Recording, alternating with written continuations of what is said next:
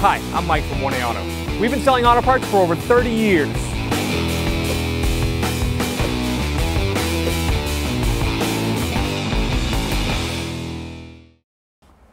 All right, to get the sun visor out, first we're gonna release it right here. And we wanna pull this cover off. Over here, we'll take a 90 pick, or you can take a straight screwdriver. Pull this little cover off, like this. And then slide this off. There's a slot for the cover to come off, just like that. And we're gonna use a T25 driver. You can use that. Uh, it looks like you could also use a straight blade screwdriver if you didn't have a Torx bit.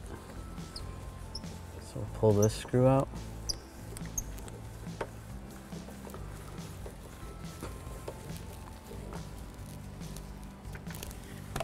Turn the visor pull this one out.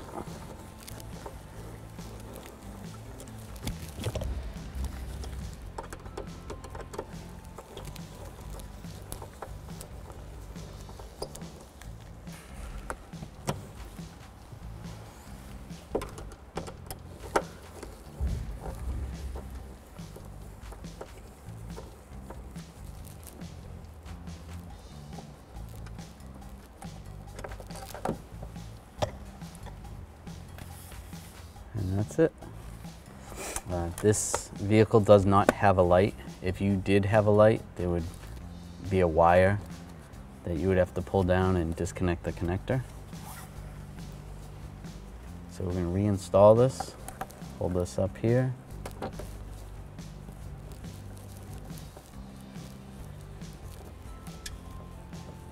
Get this screw started.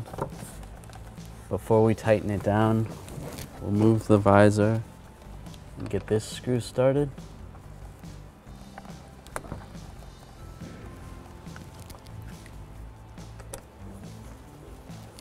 Take my Torx driver and tighten it up.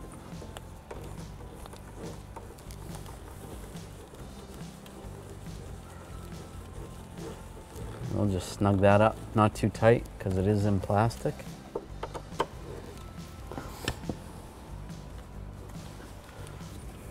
And we'll take this cover, I'm gonna slide it over, just like that, and just push it up.